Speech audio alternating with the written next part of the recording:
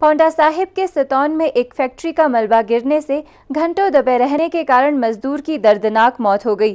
सूचना मिलने के बाद पुलिस ने मौके से शव को निकालकर पोस्टमार्टम कर परिजनों को सौंप दिया है। पाउंटा साहिब से मात्र 20 किलोमीटर की दूरी पर स्थित स्तौन औद्योगिक क्षेत्र में दर्दनाक हादसा पेश आया है। यहाँ मलबे में दबने से एक मजदूर मौत की नींद सो गया।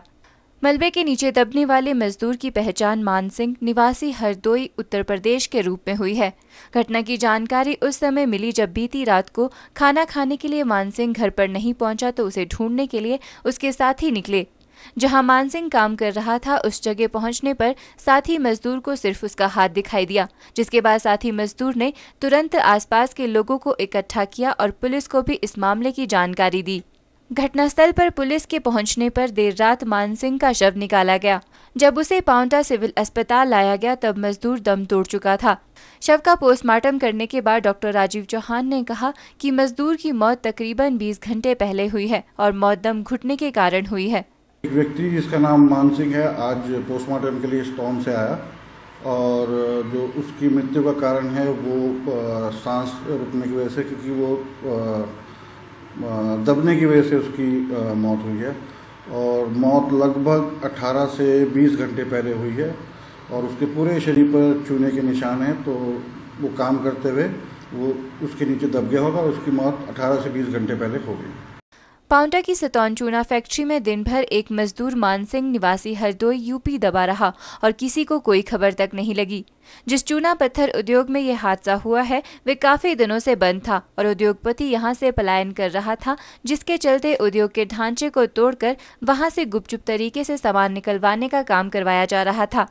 लेकिन हादसा होने के बाद से उद्योग मालिक अपनी जिम्मेवारी से पल्ला झाड़ रहा है और कंपनी ठेकेदार और मालिक दस हज़ार रूपए लेकर मामले को दबाने का प्रयास कर रहे हैं। मृतक की भाभी ने आरोप लगाते हुए कहा कि उनकी गरीबी को देखते हुए उन्हें दबाया जा रहा है। पत्थर नीचे दबे थे वो। इसीलिए चार अंगुली दिखा रहे थे और बाद बाकी अंदर में थे। हम्म, यही बोल रहे थे वो। फिर मैं यहाँ आया तो बोले कि अब तो वो अंदर है नौ बजे आप आके देख लेना। मुआवजे को लेके क्या बोल रहे थे? हाँ जी। मुआवजे के लेके क्या बोल रहे थे? कुछ नहीं। हाँ, कुछ नहीं मेरे को बोले बाद में। जे अच्छा कंपनी वाले पे तो ये कह रहे थे कि आप दस हज़ार रुपये ले लो निपटारा कर लो यही मट्टी लगा दो। दोबारा बोलो। मैं उनसे बोले कि मेरे घर वाले जब भाई आई आएँगे तभी हम लेंगे मट्टी अभी तब नहीं लेंगे। हम रह रहे रामपुर में।